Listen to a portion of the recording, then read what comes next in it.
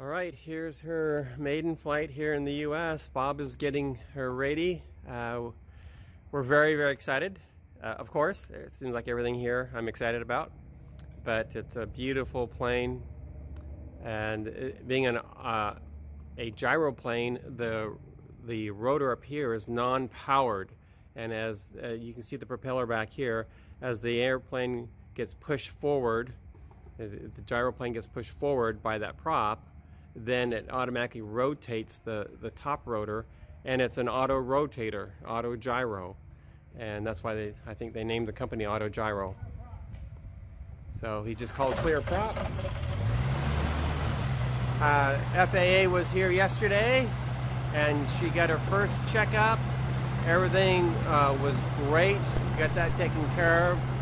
So Bob is doing the first flight on uh, really the airworthiness test. Uh, this was shipped from Canada.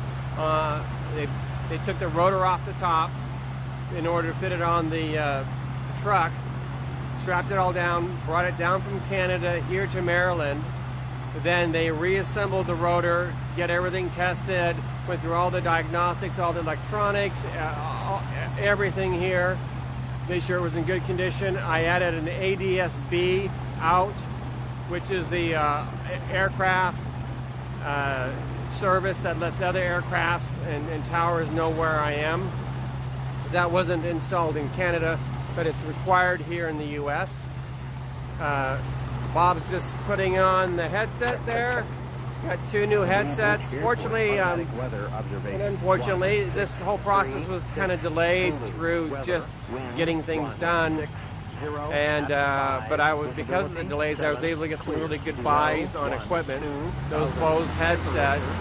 I did all the uh, testing uh, reviews on them. Everybody said they're expensive, but that they're worth it.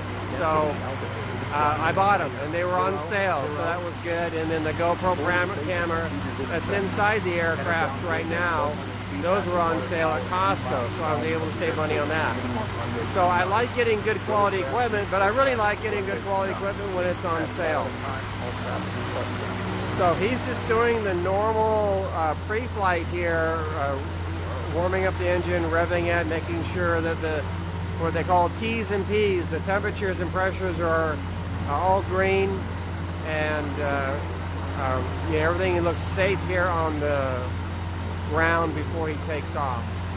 So he is going to go up into what's called the pattern. Just going to fly around the airport in kind of a rectangle and do some touch and goes, make uh, and look at all the equipment, make sure they're reading correctly.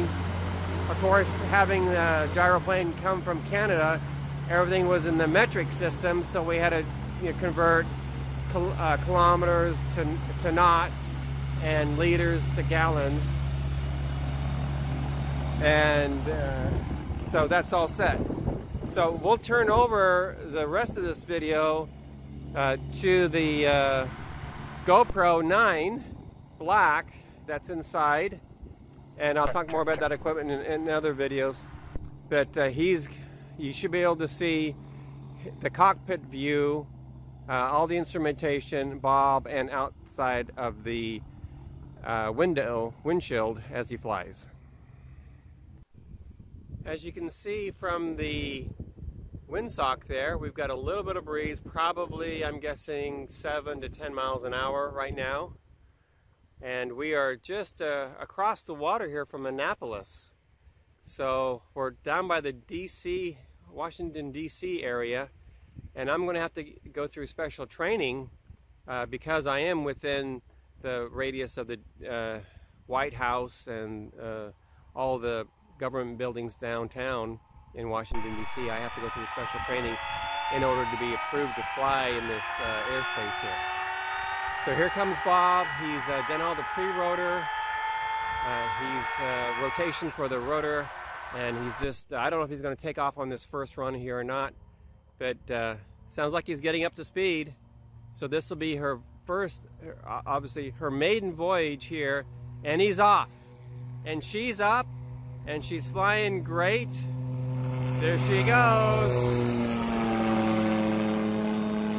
And that is uh, a gyroplane. Very short takeoff, very short landing. Uh, flies extremely well and stable in uh, thermals and uh, rough weather, rough winds. Uh, flies great in 30 mile an hour winds. Traffic, uh, gray gyro turning into a downwind for runway 11 Bay Bridge. The reason why I purchased this particular aircraft, uh, even though I've flown in hang gliders and uh, trikes uh, and uh, fixed wing air wing, uh, fixed wing aircraft and so forth, is because this is so stable and we have lots of wind in Idaho. Of course, I will be setting limits on what weather conditions I'm willing to fly in, even if the aircraft is capable of doing it. But you can see uh, he went uh, uh, up to the downwind and took off and, and took a left uh, on the pattern, which is a normal pattern here at the, at the airport. And he's just going to be doing a couple patterns. He's probably going to come down here next and just do a touch and go just to make sure everything is working properly. Was traffic, uh, gray gyro, turning uh, base to final runway 1-1, stop and go Bay Bridge. This is really the, the, the, the flight airworthiness test right here. You can see some uh, cumulus nimbus clouds billowing up there. He's trying to get the first flight in before we uh, get the afternoon rains here. It's uh, been in the 90%, uh, 90 degree temperatures and 90% humidity. So we're hoping for a cold front to move in uh, to cool things down. So he's just, he's on uh, uh, the, the bottom of the um, pattern here. And he's just going to make his final uh, turn here to come in on his descent. Looks like he may be, no, he's coming in. I can't tell which uh, airstrip he's going to be coming in. Looks like the same airstrip he took off on. So unfortunately, I don't have a handheld uh, radio with me, so I can't hear him doing any talking over the radio. But you'll be able to hear him talk on the radio through the uh, wiring setup, an audio setup I purchased uh, with, uh, in addition to the GoPro. So uh, as I'm um, narrating this, uh, I'll be flipping back and forth as, as I've already been doing uh, between the in camera and uh, setup and here on the on the mobile phone. So he's just did a nice touch, uh, slowed to look almost a complete stop. Now he's doing another takeoff here. Very short takeoff. You see, it's just it's less than 300 feet on a no wind day. The more wind we have, the less runway we need. In a 30 mile an hour wind, it's literally uh, as little as 10 mile, uh, 10 traffic, uh, feet to take off. Turning into a downwind for runway in a headwind, one, one Bay Bridge. and and zero, almost zero feet on landing in a headwind. Okay, so he's going around for his second pass here. Uh, this may not look very exciting to you, but this proves that the aircraft has been uh, tested well, gone through here with the the crew here on the ground, and it's been in the in the shop for a few weeks, making sure everything is working properly. And we did uh, any upgrades we needed to make sure that happened. A great crew here at uh, Autogyro. Uh, they they don't have a shop, but they are in the same building as a shop that specializes in gyros and Dynons and uh, uh, aviation equipment here. So we're in really good hands. I purposely came here all the way to Maryland. It's literally from coast to coast uh, because I wanted to get trained by Bob.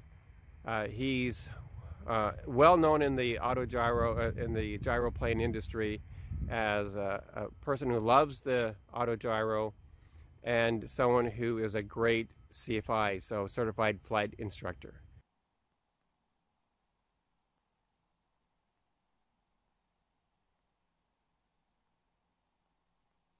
And Beards traffic, uh, Gray Gyro is final runway 11, stop and go, Bay Bridge.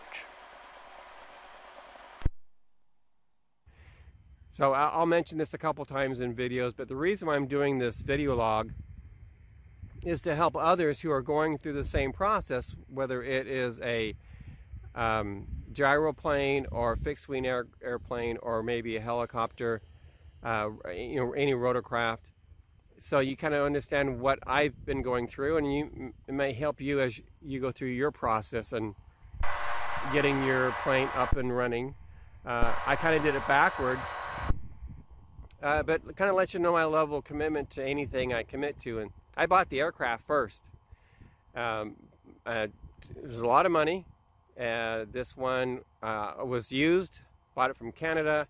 Uh, normally, an aircraft, brand new, coming from Germany, would be $200,000 plus, uh, depending on how you outfit this. This has been outfitted with uh, leathered seats with lumbar support and heated seats. it has the glass traffic, dis- uh, gray gyro, departing pattern to the cockpit. Switch. Oh, that just uh, makes my heart pound a little bit faster as he goes by. A little excited thump there. Uh, it's just flying true, and uh, yeah, um, tomorrow we go up. I'll be in it tomorrow. Well, I don't know if we actually go up, but tomorrow is my first training class with Bob. And I imagine we'll be spending a bunch of time running up and down the, the runway here and uh, testing to make sure I, I know how to run the controls and the pedals and, and so forth. So he has now left the pattern. He's comfortable with the way that it's flying here. And so he's going to go out further uh, and uh, test it out, kind of stretch its legs, start probably hitting some of those uh, top uh, limits to make sure that everything is working properly. So really he's my test pilot in addition to my certified flight instructor. So he's making a turn here. I'm going to uh, uh, probably just stop editing here. I stop recording here, and you're probably looking right now as I edit this at the video from inside the cockpit. So you're probably getting a lot better view than I am standing here uh, down here in the middle of the the uh, air airstrip.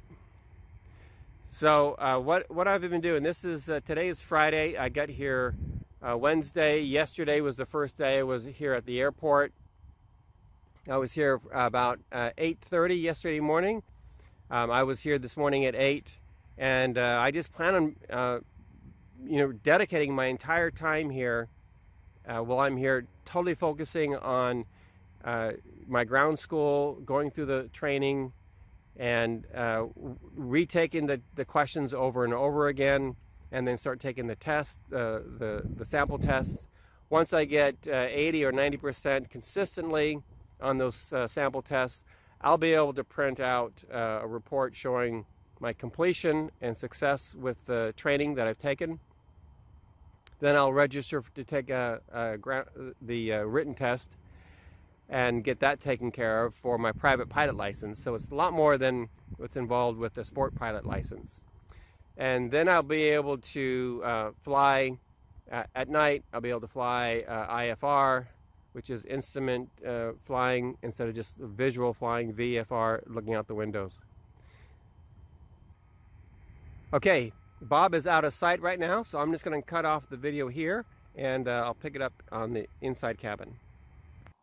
Hey, Bridge Unicom, Cessna 5264 Kilo, radio check please.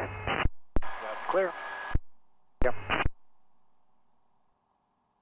Average traffic, uh, Gray Gyro, 9 Victor is about three miles out to the east. And we're going after a uh, downwind, left downwind for runway 11, Bay Bridge. Traffic, traffic, traffic, 422 entering the left downwind, runway 15, traffic. Bay Bridge, traffic, Cessna 5264 Kilo, crossing 11, Bay Bridge. Bay Bridge traffic, uh, Gray Gyro is turning into a uh, downwind, left-hand downwind for runway 11, Bay Bridge. Bay Bridge traffic, Cessna 5264 Kilo, clear 11, Bay Bridge. Bay Bridge traffic, like 402 X-Lane 5 miles south of the airport, outbound for runway 11, Bay Bridge. Bay Bridge traffic, uh, Gray Gyro, turning base for runway 11, full stop, Bay Bridge. And Bay Bridge traffic, uh, gyro short final 1-1, full stop, Bay Bridge.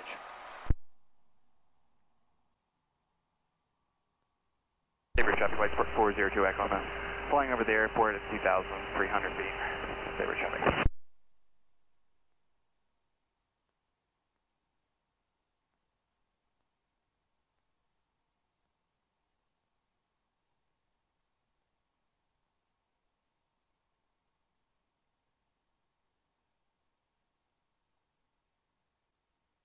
Bay Bridge traffic, uh, gray gyro, turning clear, runway 11.